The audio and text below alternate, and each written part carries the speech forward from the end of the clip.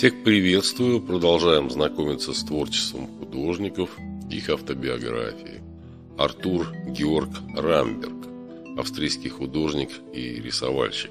Я пользуюсь данными Википедии. Родился 4 сентября 1819 года в Вене. Был сыном лейтенанта Георга фон Рамберга. Отец Георг и его дети были возведены в потомственное австрийское дворянское сословие 1849 году. Его братом был генерал Герман Фрайхер фон Рамбер, двоюродным дедом ганноверский художник и рисовальщик Йоган Генрих Рамбер. Его племянником был художник-маринист Август фон Рамбер. В подростковом возрасте жил в Италии, Германии и Венгрии из-за служебного положения своего отца. Первые уроки рисования он получил у своего двоюродного деда Йохана Генриха Рамберга в Ганновере. В 1840 году отправился в Прагу, чтобы изучать философию в Карловом университете в Праге, а также в Пражской академии художеств у Франца Карлика. Затем он стал учеником Юлиуса Хюбнера в Дрездене. В 1849 году Рамберг переехал в Мюнхен, проявил себя как широко известный жанровый и исторический художник,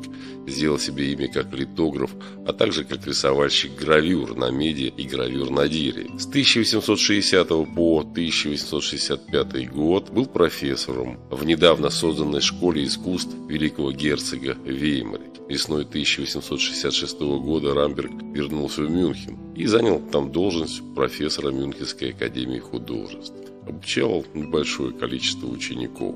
Написал несколько фресок в лютеранских комнатах Варбурга, а для великой герцогини Саксен Веймарской сказку о короле лягушки. Вместе с Фридрихом Пехто фон Рамберг создал рисунки для произведений Шиллера и Гёте. Умер 5 февраля 1875 года в Мюнхене. Вот так вкратце из переводной Википедии о Артуре Георге Рамберге, австрийском художнике и рисовальщике. Пока-пока, до свидания.